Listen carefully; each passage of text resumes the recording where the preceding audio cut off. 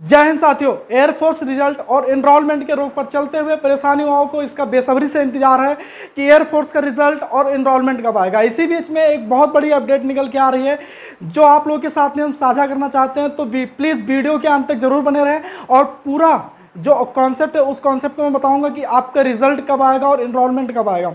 तो so please guys सारे लोग वीडियो के अंत तक बने रहें। और आज की यहाँ पे थंबनेल पे लिखा हुआ है कि आ गई खुशखबरी। तो हाँ जी हाँ सही बात है कि खुशखबरी आपके लिए आ चुकी है कि एयरफोर्स का रिज़ल्ट और इनरोलमेंट कब आएगा साथ साथ में नेवी के बारे में भी बताऊँगा और आर्मी के बारे में बताऊँगा। तो वीडियो के लास्ट तक ज़रूर बने रहें।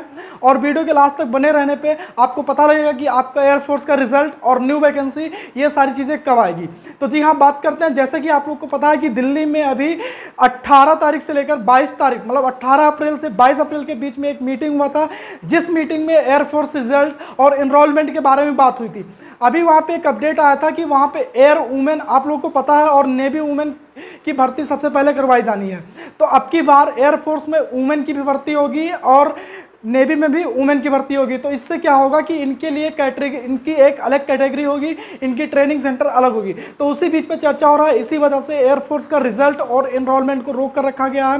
तो वहाँ पे बताया गया कि टाइम लिया गया कि 45 डेज़ कितने 45 दिन का टाइम दिया गया कि 45 दिन में आपकी अच्छी अपडेट आ जाएगी। 45 दिन मान के चल लो कि 45 दिन में एयर वुमेन का भी कैटेगरी सिलेक्शन जो सेक्शन होता है, उसको अलग कर दिया जाएगा और उनका भी सिलेक्शन प्रोसेस तय कर दिया जाएगा कि एक इसका ये मापदंड होगा। इससे क्या होगा कि हाँ एयर जो एयर वुमेन होगी, जो हमारी महिलाएँ जाएँगी उसमें एयरफोर्स में, उनका अलग प्रोसेस होगा और जो वाई ग्रुप पे एक्स ग्रुप के लड़के आते हैं, उनका अलग प्रोसेस होगा। तो इसी के चलते हमको बार बार ये देखने को मिल रहा है कि CSB की साइट पर कि ड्यू टू कोविड कोविड की वजह से हमारा रिज़ल्ट डिले हो रहा है या हमारा इनरोलमेंट डिले हो रहा है। तो अब आपको ये नहीं सुनने को मिलेगा। आपको 45 दिन का टाइम मिला है 45 डेज़ ओनली 45 डेज़ यूँ कह लो कि 45 डेज़ मतलब जून के लास्ट वीक जून मंथ के लास्ट वीक और जुलाई के फ़र्स्ट वीक तक आपको एक अच्छी अपडेट मिल जाएगी।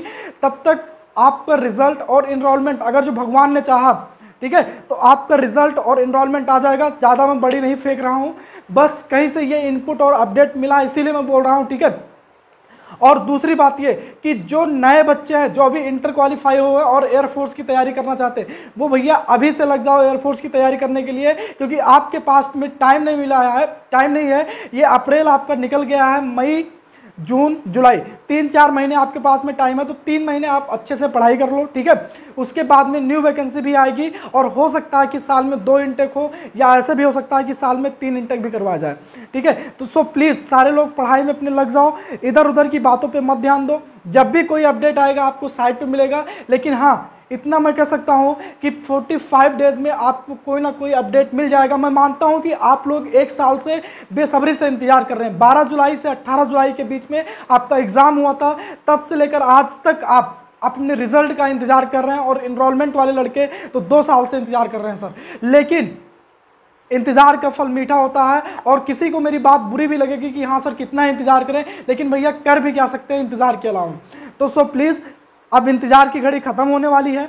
आप लोग जो बेसब्री से इंतज़ार कर रहे हैं कि एयरफोर्स का रिज़ल्ट और इनरोलमेंट कब आएगा तो बहुत ही जल्दी आपके सामने देखने को मिलेगा, ठीक है? बाकी पढ़ाई में लग जाओ और आगे जो भी आएगा, उसको अच्छे से सामना करो, क्योंकि जब भी एग्ज़ाम होगा तो आपको ये गोल्डन अपॉर्चुनिटी मिलेगा। इस गोल्डन अपॉर्चुनिटी को आपको नहीं खोना है कि अगर जो मान लो कि आपको एक चांस मिलता है तो उस चांस में आप उसमें इतना मेहनत करके जाओ कि एग्ज़ाम को क्रैक कर दो, ठीक है? और उसके साथ में हम लोग आपके साथ में लगे हुए हैं।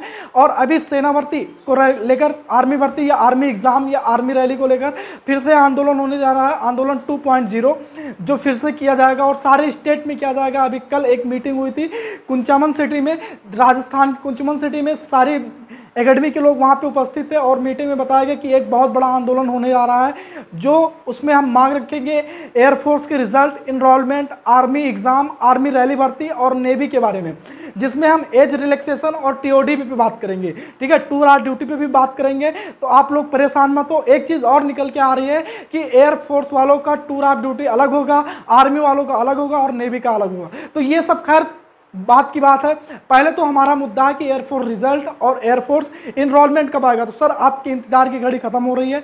धीरे धीरे आप परेशान बिल्कुल मत होइए, भरोसा रखिए, ठीक है? अपने आप पे भरोसा रखिए और आपने एग्ज़ाम में अच्छा किया है तो आपका रिज़ल्ट 100 परसेंट सही आएगा। सो प्लीज़ आप अपनी पढ़ाई को कंटिन्यू रखिए।